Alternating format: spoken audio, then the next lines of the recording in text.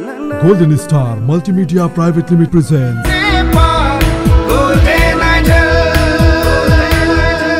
Nepal's Golden Idol Season 7 यो स्टेजमा आफ्नो पर्फर्मेन्स दिनको लागि आउँदै हुनुहुन्छ यस्तो एकजना प्रतियोगी जो आफ्नै दममा केही गर्न चाहनुहुन्छ। गायनलाई नै आफ्नो कर्म र धर्म मानेर अगाडि बढिरहेका एक यात्री बसाइ उनको काठमाडौँ प्रेजेन्टिङ मदन लिम्बू। मदन। हजुर। मैले अस्तिको पालिको कुरा याद राखिरहेको छु नि। छ। तपाईँले याद राख्नु भएको छैन अस्तिको एपिसोडमा मैले के भनेको थिएँ? मैले भन्नुभन्दा पहिला होइन तपाईँले नै भनिदिनुहोस्। कपाल बाँधेर आउनु भन्नुभएको थियो। यो मान्छेले उल्टो उल्टो कुरा गर्न चाहिँ एकदम राम्रोसँग जान्नुभएको छ कि उहाँले होइन। सो मैले ठ्याक्कै त्यसको अपोजिट भनेको थिएँ। आज चाहिँ तपाईँले फुल पर्फर्मेन्स कपाल छोडेर दिनुहुन्छ भन्ने सुनेको थिएँ मैले कता कताबाट हल्ला। आउँछ त्यो दिन पनि आउँछ। देख्नुहुन्छ आउँछ नि? होइन? आउँछ आउँछ। तर केही छैन तपाईँले हरेकचोटि मैले चाहिँ कपाल छोडेर एकचोटि देखाउँ सबै जनताहरूलाई देखाइदिउँ मदन लिम्बूको कपाल भनेको उहाँले चाहिँ त्यो दिन आउन दिनु होला जस्तो मलाई लागेन है? त्यही भएर हामी पर्फर्मेन्सतर्फै लागौँ है त? रेडी हो? Okay all the very best thank you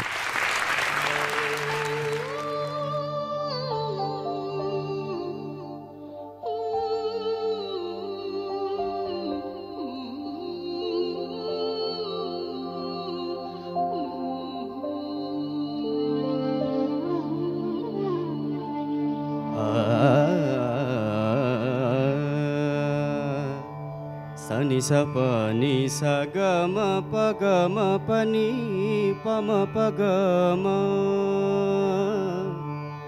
स प म प स म ग म स ग स नि स प नि स ग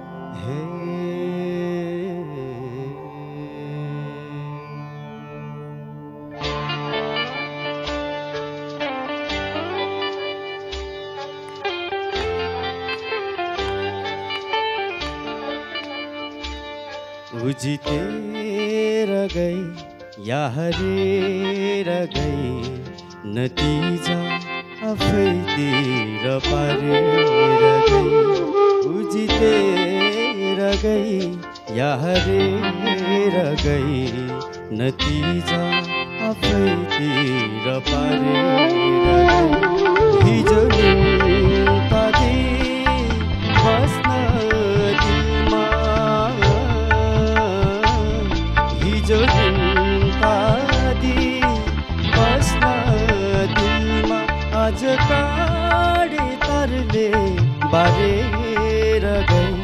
उजितेर गई या हरेर गई। नतिजा आफैतिर पारेर गई।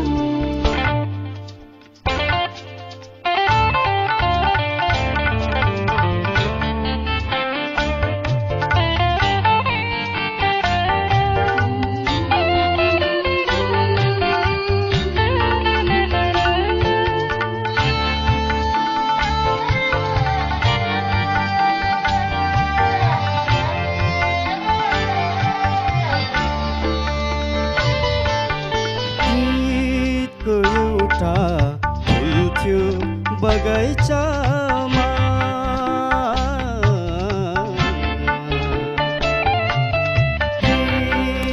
एउटा फुल थियो बगैँचामा। आकाशबाट सिना झरेर गई। आकाशबाट सिना झरेर गई।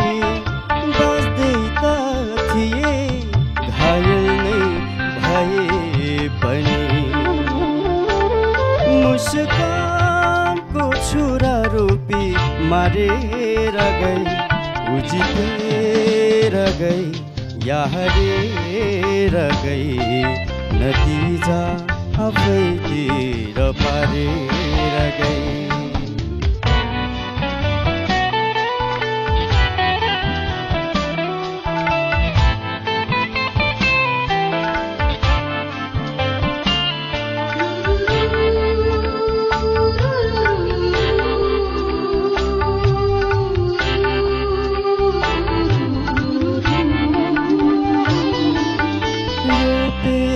प्रेमको फुल मेरो मन।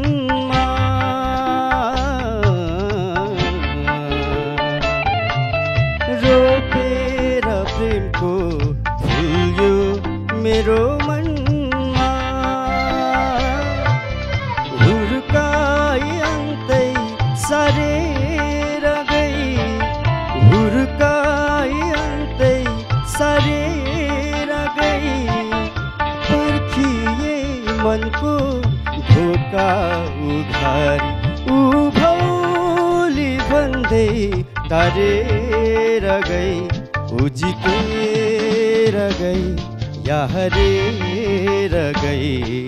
नतिजा आफैतिर पारेर गई उजितेर गई या हरेर गई। नतिजा आफैतिर पारेर गई। हिजो निम्ता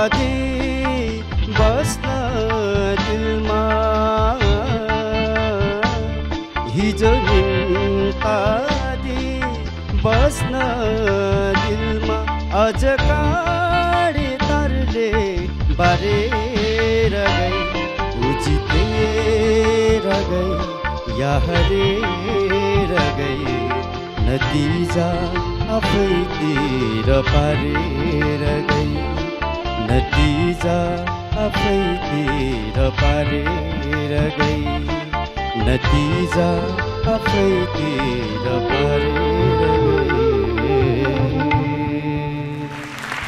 अल राइट ऊ चाहिँ जितेर गई या फेरि हारेर गई नतिजा आफैतिर पारेर गयो होइन त। नतिजा कस्तो खालको नतिजा आफैतिर पारेर गयो भन्नुहोस्। अब नतिजा अब राम्रै पारेर गयो होला। होइन किन? भनेपछि उसले अर्को पायो भनेदेखि झन् त्यो राम्रो कुरा उसको लागि? तपाईँलाई छोडिदिनु राम्रो कुरा उसको लागि? अब उसले नै राम्रो पाएर गयो भने त राम्रो हो नि उसको लागि त होइन? ओके सो उहाँसँग चाहिँ जेको पनि जवाफ उल्टो पाल्टो नै हुन्छ होइन? र एक्चुली यो गीत चाहिँ राज सिगदेल सरको चाहिँ एकदमै वान अफ माई फेभरेट कुनै बेला ब्रेकअप नभए नि ब्रेकअपवाला फिलिङ आउँथ्यो होइन? दिनरात यही सुनिन्थ्यो बिहान बेलुका चौबिसै घन्टा कानमा चाहिँ बजिरहेको थियो होइन? सो तपाईँले चाहिँ कतिको सुन्नुहुन्थ्यो यो गीत? कुनै बेला सुरुवातमा आउँदाखेरि। सुन्छु राम्रो छ होइन? अझै पनि सुन्नुहुन्छ? त्यस्तो ब्रेकअपवाला फिल गरेर होइन? के फिल गरेर गाउनुहुन्छ? भन्नुहोस्। म्यामले त्यताबाट के भन्दै हुनुहुन्छ भन्दा मदनले भर्खरै चाहिँ के फिल गरेर गायो यो कुरा भनिदिनुहोस् रे हेर्नु अब तपाईँ धरापमा हुनुहुन्छ है के फिल गरेर गाउनु भयो हेलो। जजेसहरूको अझै कमेन्ट सुन्न बाँकी नै छ फेरि है होस् गरेर अँ, बोल्नुहोस् यो स्टेजमा गाउँदै गर्दा मदनले के चाहिँ फिलिङ्समा के आयो मदनको मेरो त्यस्तो फिलिङ्स त के आएन के फिलिङ्सै भएन है गीतमा गीत गाउँ भन्यो स्टेजमा आयो गीत गाइदियो म्याम सिद्धियो भन्यो त्यही हो क्या। पोइन्ट गर्नुहोस् है। ल ओके। हामीलाई चाहिँ उसलाई जबरजस्ती हुन्छ नि धकेलेर खाल्डोम पुऱ्याएको जस्तो भयो। तर मैले खाल्डोम पुऱ्याउनु खोजेको होइन है जजेसतिर जामा भयो। त कस्तो भयो पर्फर्मेन्स भनेर। सो राम सर कस्तो लाग्यो तपाईँलाई मदनजीको पर्फर्मेन्स सर नमस्ते। नमस्ते। आजको एपिसोड अलिकति गाह्रो एपिसोड पनि हो। किन भन्दाखेरि सेमी क्लासिकल भन्न साथै हामीले एकदमै अभ्यास गरेको हुनुपर्छ। स्वर साधना हुनुपर्छ। अलङ्कार साधना हुनुपर्छ। अब त्यसमा हरेक प्रकारको हरकतहरू आउँछ मुर्की गमक खिट्का मिड होइन? यो कुराहरूलाई हामीले ख्याल गर्नुपर्छ। र ल्यान्डिङ नोटहरू कहाँ कहाँ छ? र स्वरहरू गाउँदाखेरि अलङ्कारहरू छुट्टिएको छ कि छैन त्यसलाई एकदम ख्याल गर्नुपर्छ। र यसको लागि मेहनत चाहिँ धेरै गर्नुपर्छ। अहिले तपाईँमा जति समय छ त्यसलाई साधनामा लगाउनुहोस् मेहनत गर्नुहोस् अगाडि बढ्नुहोस् शुभकामना छ। Thank you thank you sir thank you very much sir र त्यसै गरी विनोद सर कस्तो लाग्यो तपाईँलाई मदनको performance hello Madan sir welcome back खुसी लाग्यो फेरि पनि तपाईँलाई देख्न पाऊँ। पाइराखौँ तपाईँलाई स्टेजमा बारम्बार किनकि हामीले तपाईँलाई तपाईँको बारेमा चाहिँ मदन यस्तो बलियो प्रतियोगी हो भन्ने कुरा सबैजनालाई थाहा छ। तर यो क्लासिकल भन्ने चिज चाहिँ अथवा यो जुन शास्त्रीय सङ्गीतमा आधारित गीतहरू गाउन चाहिँ आफैमा गाह्रो कुरा पनि हो। मलाई कहिलेकाहीँ कस्तो लाग्छ भने यो चाहिँ आयुर्वेदिक औषधि जस्तो हो क्या। त्यही भएर चाहिँ यो आयुर्वेदिक औषधिको चाहिँ यो इफेक्ट्स हुन्छ नि कालान्तरसम्म रहिरहेको छ क्या। म त्यस्तो लाग्छ। एनिवे अल द बेस्ट हामी आशा गरौँ कमिङ डेजहरूमा अझै मदनलाई हामी अझै राम्रो सुन्न सकौँ। Thank you very much thank you sir thank you very much sir र त्यसै गरी thank you very much Madan. Okay thank you Golden Idol Season 7 Subscribe now. Never miss an update.